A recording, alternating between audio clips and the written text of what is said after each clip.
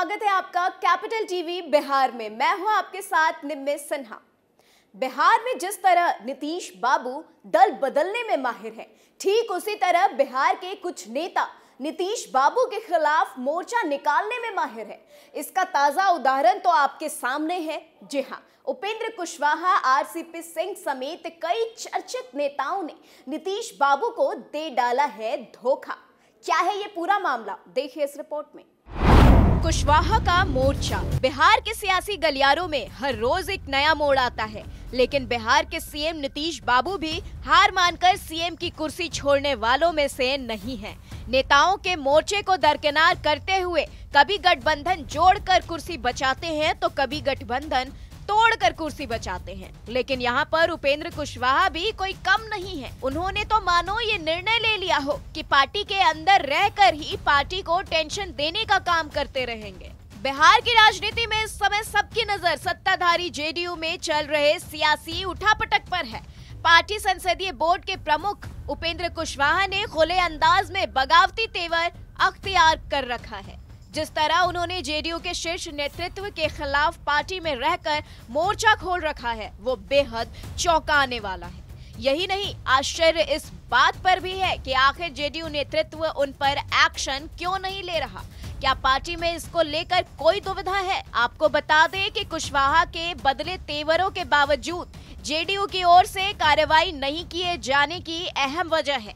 उपेंद्र कुशवाहा ने जदयू में अपनी पार्टी, राष्ट्रीय लोक समता पार्टी का विलय किया है। ऐसी परिस्थिति में कुशवाहा अगर बीजेपी में जाते हैं तो वो सिर्फ़ जदयू के एक नेता के रूप में जाएँगे। इन हालत में बीजेपी कुशवाहा का मूल्यांकन भी करेगी। वैसे संभावना यह भी जताई जा रही है कि कुशवाहा के साथ कई सांसद और विधायक भी हैं। ऐसी स्थिति में जेडीयू से अलग होते हैं तो वो कितने विधायकों या नेताओं को अपने साथ ले सकते हैं, इस पर बीजेपी की नज़र ज़रूर रहेगी। वहीं आपको यह भी बता दें कि माना जाता है कि कुशवाहा ने अपनी हिस्सेदारी की मांग कर इसी का संकेत दिया है। इससे पहले भी जेडीयू के पूर्व अध्यक्ष आरसीपी सिंह के साथ भी पार्टी में यही स्थिति बनी थी।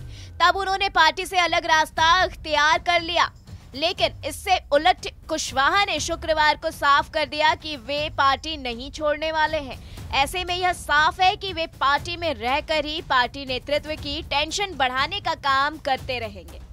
नीतीश कुमार के काफ़ी करीबी रहे और जेडीयू के राष्ट्रीय पूर्व अध्यक्ष आरसीपी सिंह ने पार्टी से इस्तीफा दे दिया था। नौकरशाही से सियासत में आए रामचंद्र प्रसाद सिंह को नीतीश के बाद नंबर दो माना जाता था। वे नीतीश कुमार की उंगली पकड़कर राजनीति में आगे बढ़े और जदयू की कमान तक संभाली। देखिए इस रिपोर्ट में। आरसीपी का मोर्चा। बिहार के सियासत में आरसीपी सिंह का नाम काफ़ी मशहूर है। आपको बता दें कि ये दो बार राज्यसभा सांसद और केंद्रीय मंत्री भी रह चुके हैं, लेकिन आरसीपी सिंह पर बीजेपी से मिलकर जदयू को तोड़ने की साजिश का आरोप लगा है। इसके बाद नीतीश कुमार ने उन्हें साइडलाइन कर दिया था। यहाँ तक कि इसके बाद नीतीश ने बीजेपी का साथ छोड़कर महागठबंधन में शामिल होकर सरकार बना भी ली। आरसीपी सिंह और नीतीश कुमार एक ही ज़िले, नालंदा और एक ही जाति कुर्मी समुदाय से आते हैं। ऐसे में दोनों ही नेताओं की दोस्ती काफ़ी गहरी थी और आरसीपी देखते ही देखते नीतीश के आँख, नाक, कान बन गए थे। वो एक समय नीतीश के बाद जेडीयू में नंबर दो की हैसियत रखते थे। नीतीश ने जब जेडीयू की कमान छोड़ी तो आरसीपी ही राष्ट्रीय अध्यक्ष बने थे। 2010 में आरसीपी ने आईएएस से इस्तीफा दिया और नीतीश कुमार ने उन्हें राज्यसभा भेजा। 2016 में वे पार्टी की ओर से दोबारा राज्यसभा पहुँचे और शरद यादव की जगह उच्च सदन में नेता मनोनीत किया गया। लेकिन तीसरी बार राज्यसभा न भेजे जाने के चलते उन्होंने केंद्रीय मंत्री के पद से इस्तीफा दे दी। इसके बाद से वे नाराज़ चल रहे थे। उन्होंने जदयू से इस्तीफा दे दिया था।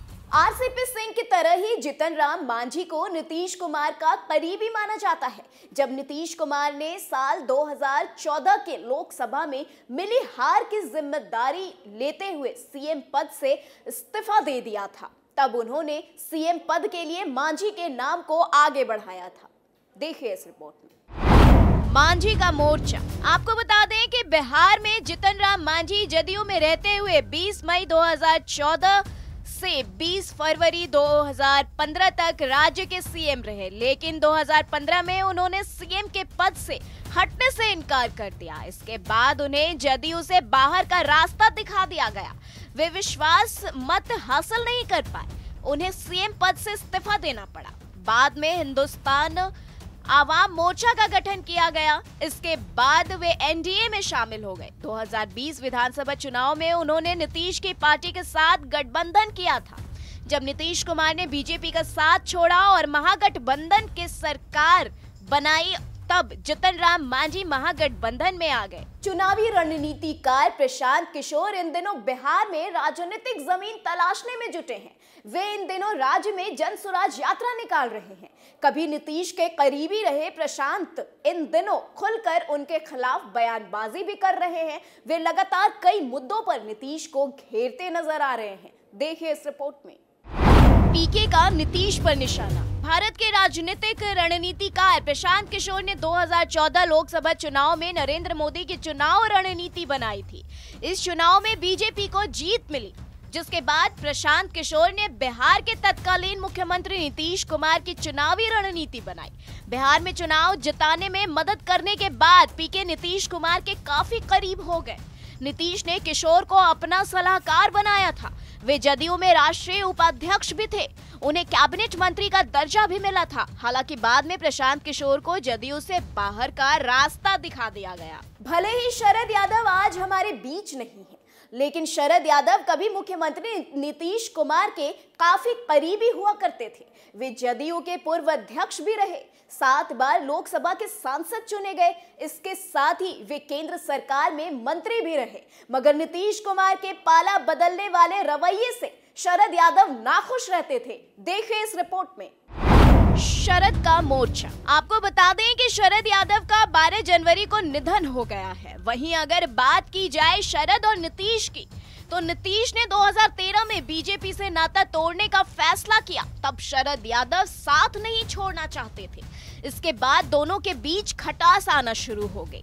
लेकिन जब 2017 में नीतीश ने महागठबंधन से अलग होकर भाजपा से हाथ मिलाया और एनडीए में शामिल होकर सरकार बना ली तब नीतीश कुमार के इस फैसले ने शरद यादव का धैर्य तोड़ दिया।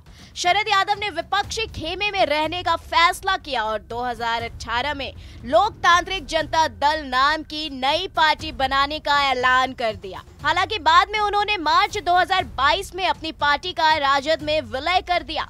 बहरहाल, नीतीश बाबू के बिहार में नहले पर दहले का गेम। काफ़ी पुराना है। ऐसे में कई नेताओं ने जेडीयू के खिलाफ मोर्चा निकालकर नीतीश बाबू से दगाबाजी की। वहीं कुछ मशहूर नेता तो पार्टी में रहकर पार्टी से दगाबाजी खेल गए। अब देखना यह है कि इस नाम में आगे कौन से नए नाम जुड़ने वाले हैं। तमाम खबरों के लिए जुड़े रहे कैपिटल टीवी बिहार के साथ। दीजिए इजाज़त। नमस्कार।